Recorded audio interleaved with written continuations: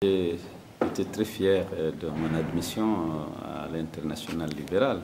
Je retrouve des partis avec lesquels je partage les mêmes valeurs et je souhaite aussi contribuer euh, justement à faire prospérer ces valeurs qui permettent de libérer l'homme et d'améliorer ses conditions de vie sur l'ensemble de la planète.